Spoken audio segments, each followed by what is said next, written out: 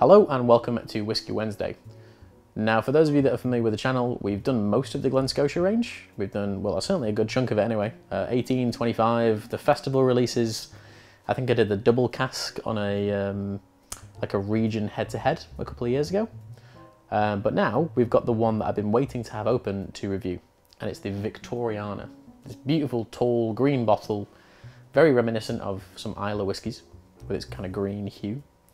Uh, it's got a great history, uh, Glen Scotia one of only three Campbeltown distilleries, run by the same company that owns Loch Lomond, and just doing a plethora of really unique, kind of off-the-wall styles. Uh, like their Campbeltown Festival Edition has always scored well with me, no matter which year it is. I love the 18, I love the 25. It's all just fantastic, it really is. This harks back to an era when Campbeltown was thriving.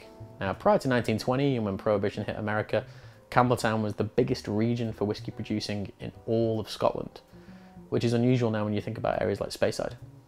But it was essentially the Speyside of Scotland all the way up until the 1920s. And then things just began to shut down because the whiskey was quite expensive and blenders weren't wanting to use it because no one was buying it as much, which was a shame. But back then, things were a little bit different with the whiskey they used to make. It was slightly, uh, it was more heavily peated than what it is at the minute, and it used an amalgamation of different casks.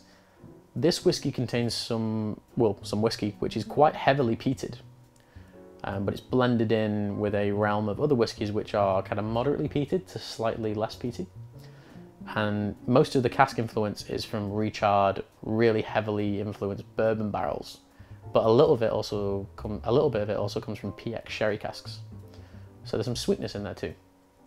It's 54.2% uh, this is now an official cask strength whiskey, which is great. And it's coming in like just over 70 pounds, which again is kind of hits the mark for value as most Glen Scotias do. So it's cask strength, it's non-chill filtered. I don't believe it's natural colour, um, but that shouldn't affect us too much. And it harks back to an era when Campbeltown were the gods of everything.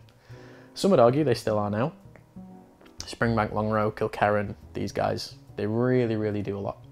Um, but let's smell it, let's taste it, let's talk to you about what's going on with it.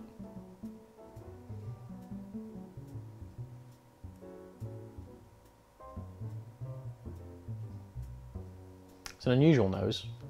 There is a little bit of smoke coming through, like a classic kind of Campbeltown ashy smoke, like a tobacco ash kind of smoke.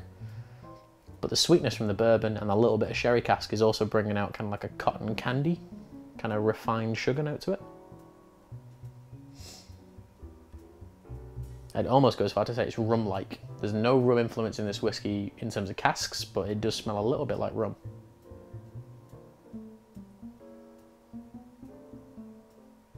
There's like a caramel apple kind of note to it, really sticky and sweet and dense.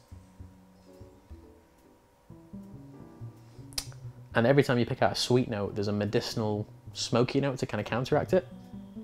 And when you get that caramel flavour, or that caramel smell I should say, there's a slight, almost like Laphroaig medicinal note comes out. So that is the heavily peated uh, barrel selection, which is coming out with it.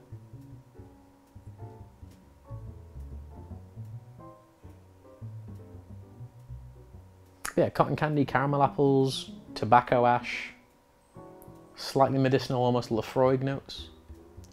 Good balance of all flavours there. Sweet, savoury, quite smoky.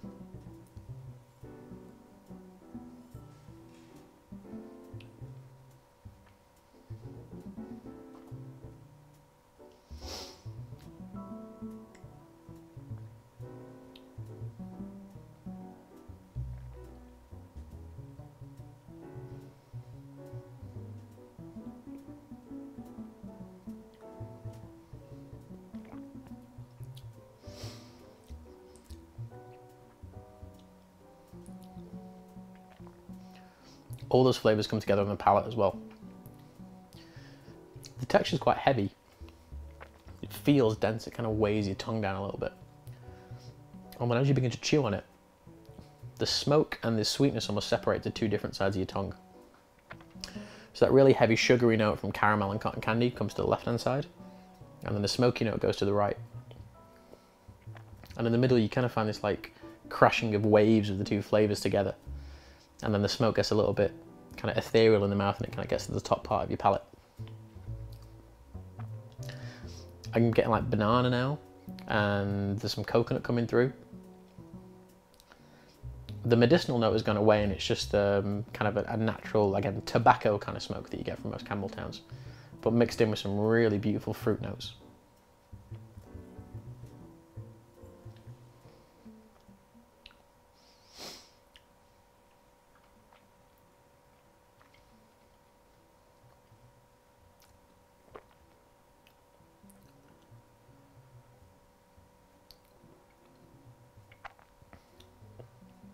A beautiful balance, very well rounded, and provides you with a little bit of everything. It's a heavy whiskey, there's some really dense textural notes to it, and some heavier smoky notes, especially towards the end. But that is beautifully offset by that banana, the apple, the caramel, the cotton candy refined sugar style. And at 54.2%, it, again, as a bit of a running theme for cask strength whiskies, it's not overly offensive. Um, I always think of things like Aberlour A'bunadh and Glenfarclas 105, and you can taste the booze in those whiskies. Whereas with this, the, the multitude of flavour is kind of offsetting the offensive nature of the alcohol, and it's just making everything so well rounded and beautiful. Solid 8. Beautiful whiskey, great price point, and harks back to a time when Campbeltown ruled the world. And even though only three distilleries exist there at the minute, you could argue they still do. Uh, so thank you very much for watching Whisky Wednesday. I'm Phil, this is the Whisky Shop in Manchester, that's Glen Scotia Victoriana, and it is a solid 8 out of 10. Thank you.